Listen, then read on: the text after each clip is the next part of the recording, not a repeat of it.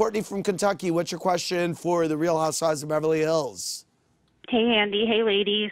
Hey. Um, my Hi. Hi. My question's for Rinna, and I wanted to know when was the last time you saw Kim Richards, and what's your relationship like with her now, if there is one?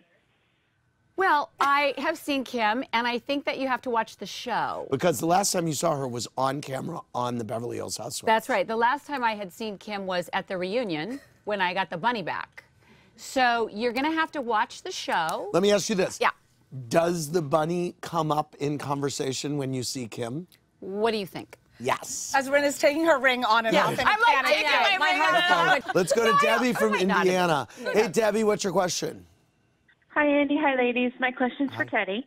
Okay. Why did you okay? Why did you decide to post a photo on Instagram showing that Lisa Vanderpump used a stand-in for the cast photo this year? Uh, to be shady, really. Yes. That's called taking accountability That is for your actions. So owning Let's it. go to